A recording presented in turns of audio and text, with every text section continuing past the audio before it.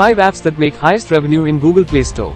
Number 1. Tinder. Tinder is a dating app that allows users to swipe through potential matches and connect with other users if both parties express interest around $177 million in global user spending on the Google Play Store in 2020.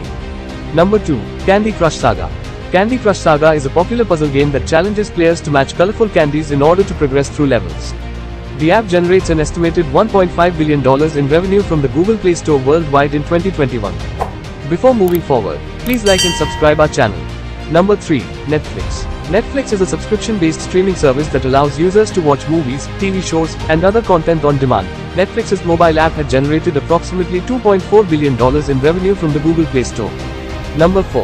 Clash of Clans. Clash of Clans is a popular mobile game that involves building and defending a virtual village, training troops, and engaging in battles with other players. Clash of Clans generated approximately $700 million in global revenue from Google Play Store in 2020. Number 5. YouTube. Everyone know about YouTube today. YouTube is a video sharing platform that allows users to upload, view, and share videos on a variety of topics. YouTube was the top grossing app on the Google Play Store in 2020, generating an estimated $991.7 million in revenue worldwide.